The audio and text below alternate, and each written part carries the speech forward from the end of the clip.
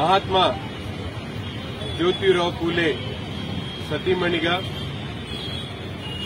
దేశంలో ప్రథమ ఉపాధ్యాయులుగా మహిళా సాధిరే- సాధికారిత కోసం అనేక రకాల ఉద్యమాల్లో చురుకైన పాత్ర పోషించి నేటి సమాజంలో ఉన్నటువంటి మహిళలు ప్రతి ఒక్కరు కూడా సమాన భాగస్వామ్యం తీసుకోవాలి.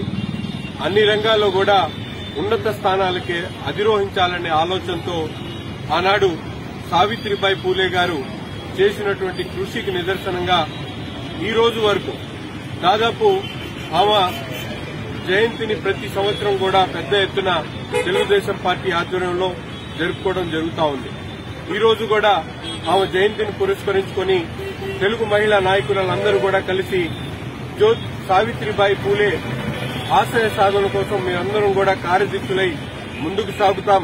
తప్పనిసరిగా సమాజంలో మహిళలకు తగిన ప్రాధాన్యత ఇచ్చే విధంగా మేమందరం కూడా కలిసి ముందుకు సాగుతామని చెప్పి ఈరోజు ఈ కార్యక్రమాన్ని ఏర్పాటు చేసుకోవడం జరిగింది. తప్పనిసరిగా తెలుగుదేశం పార్టీలోనే బీసీల ఉన్నతి కానీ అలాగే మహిళలకు సంబంధించినటువంటి సాధికారికత కంపల్సరీగా తెలుగుదేశం పార్టీలోనే సాగుతుందని చెప్పి ఈ విషయాన్ని తెలియజేస్తూ సావిత్రిబాయి ఆలోచనలతో ప్రతి ఒక్కరూ కూడా విద్య ఉపాధి రంగాల్లో మహిళలు సమానమైనటువంటి పాత్ర తీసుకొని ముందుకు సాగాలని చెప్పి మనస్ఫూర్తిగా కోరుకుంటా ఉన్నాం.